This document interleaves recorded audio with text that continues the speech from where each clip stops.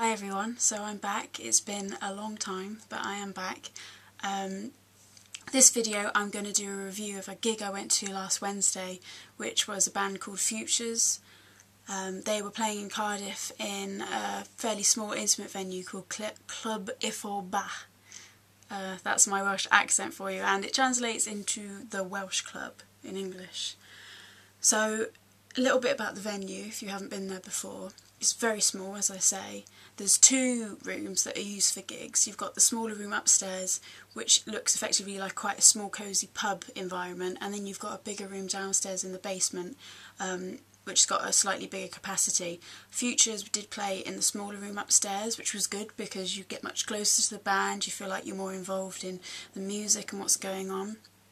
Um, actually if you've ever gone in there the bar space actually takes up probably most of the room. Um, it's quite a big corner bar. But anyway I don't know I'm talking about where the alcohol's served. So you get in there and I'm not sure how many people it holds. It can't be any more than maybe I want to say 150 but I've got a really bad ability to gauge how many people are in a room at any given time. But I'd say really not many people at all which makes for a really good gig experience I guess. Um, so I'm going to review Futures. I'd seen them once before. Um, it was as a support act for Boys Like Girls in Shepherd's Bush Empire um, earlier this year and I did actually review them as part of my review of that gig on my blog so you can take a look at that if you're interested to see what I thought the first time round and they're actually one of very few bands that I've actually got into after I've seen them live. Um, most bands I go to see um, I've heard at least a few of their recorded tracks beforehand. Either intentionally I go look at them, if I see they're a support band, just interested to see what their sound's like, I'll check them out before I see them. But Futures, when I saw them earlier this year, hadn't heard one song um, and when I saw them, they made a really big impact on me. If you read the review, you'll see that I was a really, really big fan of them afterwards.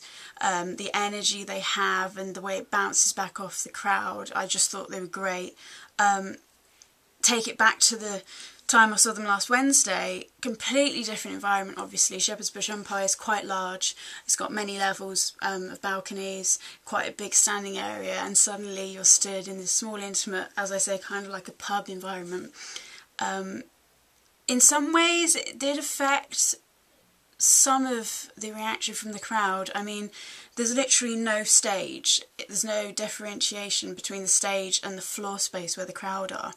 Um, so literally on a level playing field with them, which is really nice, but it just like they were really limited. Any band that plays there is really limited at how much they can move because each member of the band are literally sitting sitting they're standing in each other's pockets because there's just no there's no movement space because if you made the area they play much bigger I guess you could fit even less people in which is not great um, but that's not that's not necessarily a negative point about the band. It's just a case of I think, you know, the energy of Shepherd's Bush is completely different.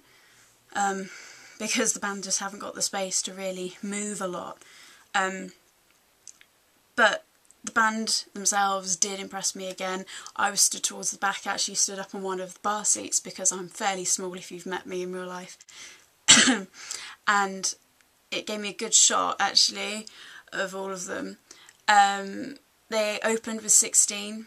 Um, obviously, they've only had one EP out so far. I believe their album, their full length studio album, is due to be released next year sometime.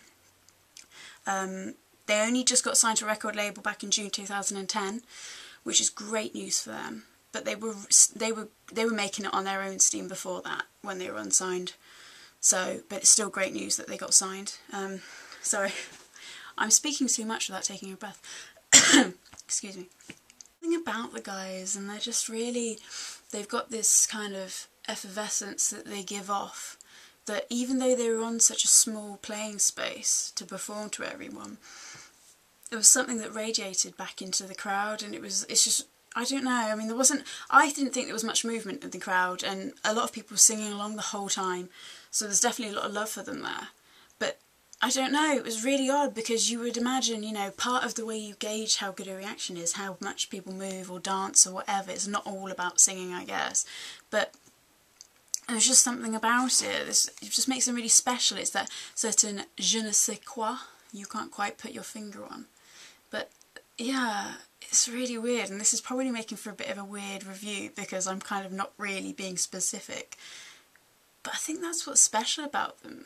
You're not quite sure what it is, but the way their music comes across live, it's it's really exciting. And you sense the excitement and even though maybe you're not going crazy and jumping around like a lunatic you're really appreciating it and everyone in that room appreciated them. Um, I mean I looked around at people and there was quite a wide age range actually and they all looked like they were enjoying themselves while their futures were playing and I mean obviously obviously the song of the night that absolutely everyone in that room knew um, was The Boy Who Cried Wolf, their most well known track. And inevitably, it got the biggest response of the night. It was really good. Um, and actually came into the crowd, or at least he said that he was going to come in.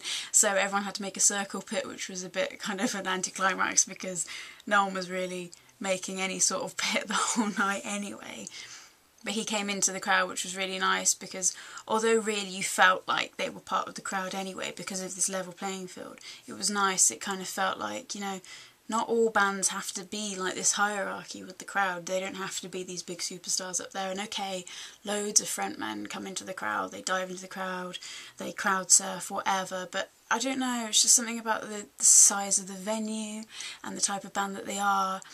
They just seem like regular guys and it's really refreshing because there's no egos there, they make great music, they deliver the music great live and you're just left with a smile on your face and it's really good. The only thing, and it's not a negative to the band at all, um, and the only thing I would come back to is the fact that I wish they could have had a bit more space to really put themselves across the way I know they can from when I've seen them before. Because um, I think I don't know. There's a certain synergy in their songs that I think need to kind of explode a bit more than they had room to. But as I say, it's not a negative to the band because when they tour next, I will definitely go and check them out again.